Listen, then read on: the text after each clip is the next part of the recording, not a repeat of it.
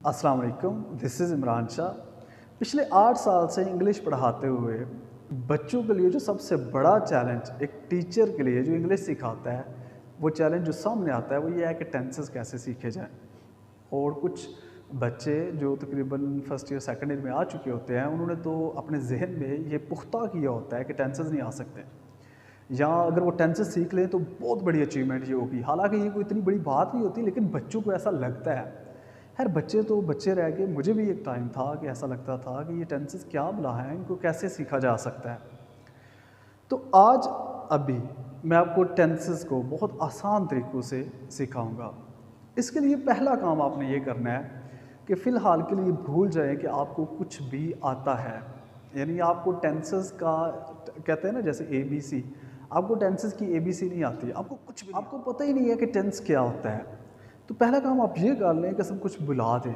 अपने जहन में ये रख लें कि आपको कुछ भी नहीं आता। और जैसे जैसे आपको गाइडेंस दी जाएगी, उसको आपने फॉलो करना है। फॉलो ज़रूर करना है। बहुत सिंपल से स्टेप्स होंगे, लेकिन फॉलो और प्रैक्टिस करने से इन आप जल्द ही टेंसेस को सीखें। हम टेंसेस सीखने का बाकायदा आगाज़ करते हैं। सबसे पहले हम वर्ड लिख लेते हैं टेंस टेंस टेंसेस सीखने में जो सबसे पहले आपने बात सीखनी है, वो ये है कि टेंस हमें दो चीज़ें बताता है। Number one time of action number two state of action ये अच्छे से समझ लीजिएगा, ये बहुत ज़रूरी है। एक तो हमें ये बताता है सबसे पहले एक चीज़ देख लें एक्शन यानी टेंस हमें बताता है कि काम कब हुआ, किस टाइम में हुआ। तो अभी हम टाइम देखेंगे।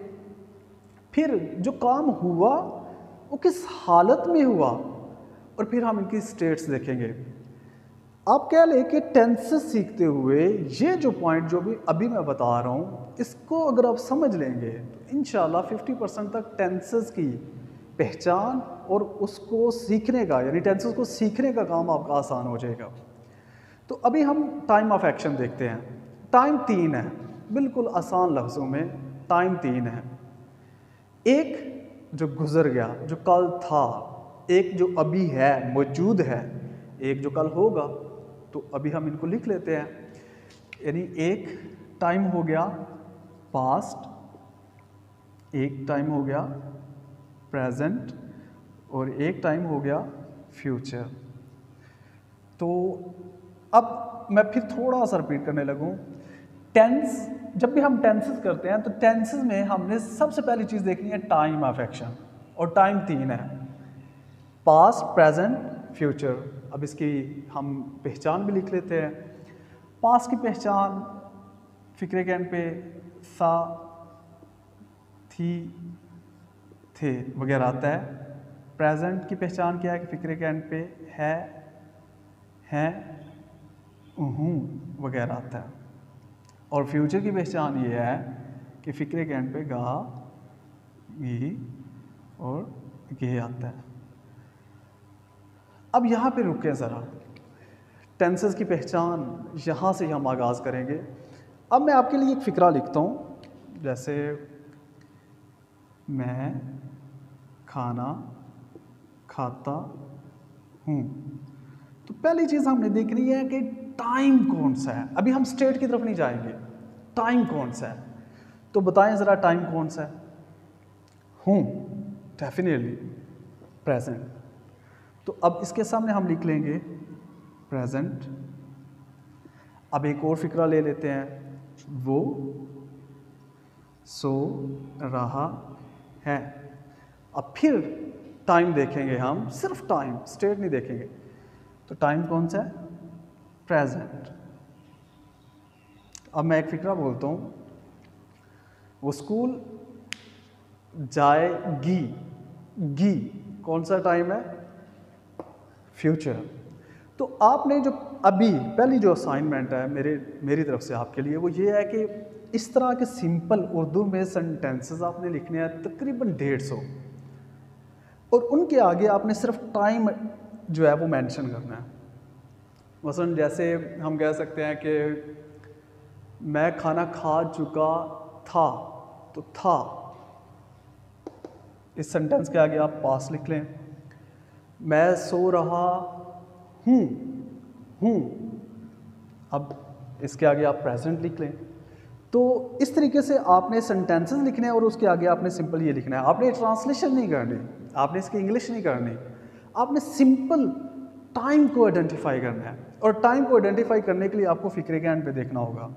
ये, फ़िक्र के एंड पे ये आपको अल्फाज मिलेंगे जिनसे आप टाइम को आइडेंटिफाई कर सकते हैं। टाइम्स हमने देख लिए हमने बताया कि टेंस हमें दो चीज़ें बताता है। एक टाइम ऑफ़ एक्शन तो टाइम हमने बताया कि तीन है। और उनकी हमने पहचान कर ली, उस लिहाज से हमने प्रैक्टिस भी कर ली। अगर आपने नहीं की तो पहले वो कर लें ताकि फिर हम आगे बढ़ें। अभी हम दूसरी चीज़ की तरफ़ आते हैं जो टेंस हमें बताता है और वो ये बताता है स्टेट ऑफ़ एक्शन अब ये बड़ी मज़े की चीज़ है कि एक्शन किस हालत में हुआ है? हालतें कितनी हैं? चार। अब उन हालतों को हम लिखेंगे और उनको समझेंगे।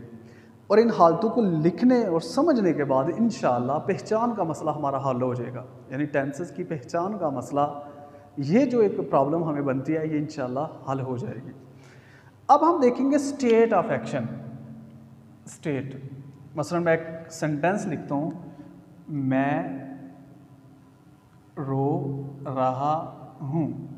तो इसमें आप टाइम बताएँगे डेफिनेटली हूँ प्रेजेंट लेकिन स्टेट क्या है? ये हमें नहीं पता अभी। इसके लिए हम पहले स्टेट्स को पढ़ते हैं। स्टेट्स चार हैं। अब इनकी तरफ़ आते हैं। ये हमने टाइम ऑफ़ एक्शन देख लिया। अब हम देखेंगे स्टेट ऑफ़ एक्शन यानी एक एक्शन कितनी हालतों में हो सकता है। तो पहली स्टेट है indefinite indefinite इसकी पहचान बिल्कुल आसान है। फ़िक्रे में ता ते, ती वगैरह आता है। एक चीज़ का ख्याल रखिएगा, जब हम स्टेट्स की बात कर रहे हैं तो हमने सिर्फ़ इस पे फोकस करना है। हमने इन पे फोकस नहीं करना। इन पे फोकस हम तब करेंगे कि जब हम टाइम की बात कर रहे हैं। मैं आगे इस चीज़ को एक्सप्लेन करता हूँ। दूसरी स्टेट है कंटिन्यू कंटिन्यू में इसकी पहचान है रहा, रही रहे। ओके जो तीसरी स्टेट है वो है परफेक्ट परफेक्ट की पहचान क्या है? चुका, चुकी, लिया, ली. और फिर परफेक्ट कंटिन्यू परफेक्ट कंटिन्यू की पहचान इसमें एक तो देखें ना कंटिन्यू कंटिन्यू की जैसे हमने पहचान देखी, रहा रही रहे तो इस किस्म की जो स्टेट होती है, इसमें रहा रही रहे भी आता है एट द सेम टाइम इसमें वक्त का ज़िक्र होता है, यानी टाइम का ज़िक्र होता है। तो हम लिख लेते हैं, रहा रही रहे, और ब्रैकेट में लिख लेते हैं, वक्त का ज़िक्र। अब आपने फोकस करना है। अब कोई भी फ़िक्रा जो आपके सामने है, खुद से लिख लें या इस फ़िक्रे पे हम देख लेते हैं। आपने जब भी कोई उर्दू का फ़िक्रा देखना है तो उसमें पहले आपने टाइम ऑफ़ एक्शन देखना है। टाइम ऑफ़ एक्शन ये याद रखिएगा। और टाइम आपको एंड पे भी नज़र आएगा। और टाइम को पहचानने के ये हमने तरीके भी देख लिए। तो हमने ये फिक्रा लिखा, मैं रो रहा हूँ। तो पहले हम देखेंगे टाइम ऑफ़ एक्शन तो टाइम क्या है जी? हूँ प्रेजेंट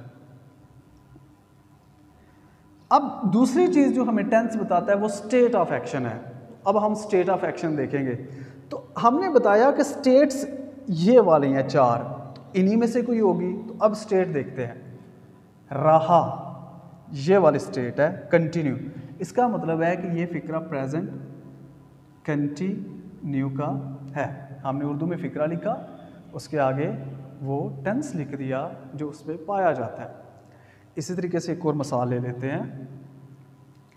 मैं आम खाता हूँ। अब पहले टाइम देखेंगे हूँ डेफिनेटली प्रेजेंट लेकिन आप देखना स्टेट स्टेट में आ रहा ता ता।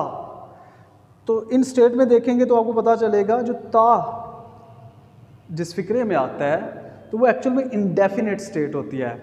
यहाँ पे एक मिनट होल्ड करें। मैं आपको थोड़ी सी एक राज की बात बता दूँ। याद रखिएगा, जब हम स्टेट्स को देखते हैं तो अगर फिक्रा कंटिन्यू है तो ठीक है। परफेक्ट है तो भी ठीक है। परफेक्ट कंटिन्यू तो भी ठीक है। लेकिन अगर इन तीनों स्टेट्स में से फिक्रा नहीं है तो फिर वो इंडेफिनेट ही होगा। क्योंकि इंडेफिनेट का मतलब ये है कि नहीं पता। या हम श्योर नहीं है। यानी इंडेफिनेट हम उस टेंस को कहते हैं कि जिसमें हम श्योर नहीं होते हैं कि एक्शन की स्टेट क्या है। वो कंटिन्यू है परफेक्ट है या परफेक्ट कंटिन्यू है। इसलिए इसको इंडेफिनेट कहते हैं। तो अगर कोई ऐसे स्टेट जैसे वो सज़ा का मुस्तक है, अब हम टाइम देखें तो है है से पता चल गया ये प्रेजेंट है, लेकिन पीछे तो मुस्तक है। अब मुस्तक तो इन चारों स्टेट्स में से कोई नहीं शो हो रहा ना। ठीक है? तो यहाँ अपने रूल ये याद रखना है कि क्या रहा, रही, रहे वगैरह है, नहीं है। चुका चुकी लिया ली है, नहीं है।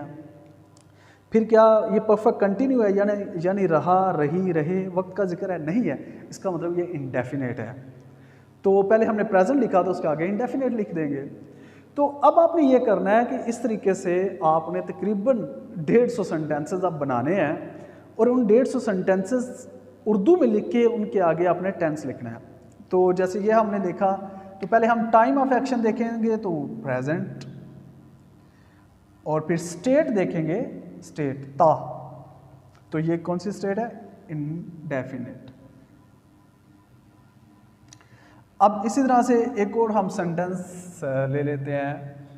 वो स्कूल जा रहा होगा। तो पहले हम टाइम देखेंगे। टाइम टाइम तीन है इनमें से देखें जी। पता चलेगा गा, यानी फ्यूचर हम तो लिख लेंगे फ्यूचर फिर हम इसके स्टेट देखेंगे। तो स्टेट चार हैं, ये वाली। इनमें से देखते हैं रहा। रहा कंटिन्यू में है। तो ये कौन सा है? फ्यूचर कंटिन्यू जी तो इस तरीके से आपने उर्दू में पहले सेंटेंसेस लिखने हैं। और फिर उनके आगे इस तरीके से आपने पहले टाइम और फिर उसकी स्टेट लिखनी है। इस तरीके से इन अगर आप डेढ़ सौ से दो सौ सेंटेंसेस बनाते हैं, मुझे उम्मीद है कि आप जो बहुत मुश्किल काम है टेंसेस सीखते हुए टेंसेस की पहचान करना, उसको हल कर लेंगे। तो अभी एक असाइनमेंट मैंने पहले दी थी, सिर्फ़ टाइम ऑफ़ एक्शन को लेके डेढ़ सौ सेंटेंसेस बनाएँ। और अभी जो दूसरी असाइनमेंट है, वो ये है कि अब आप टाइम एंड स्टेट दोनों को मद्देनज़र रखते हुए आप सेंटेंसेस लिखें। लेकिन इसके साथ एक और चीज़ कर लें, ताकि जब हम नेक्स्ट वीडियो बनाएँ तो आपके लिए आसानी हो टेंसेस को प्रॉपर सीखने में। वो ये है कि कोई से सौ वर्ब्स लें और उनकी फॉर्म्स को याद कर लें। वर्ब उसका मीनिंग और उसकी फॉर्म्स ये आपकी असाइनमेंट्स हैं। इनको कंप्लीट करें और फिर अगली वीडियो आप देखिएगा तो इन आपको टेंस सीखने में बहुत ज़्यादा मावनत होगी असल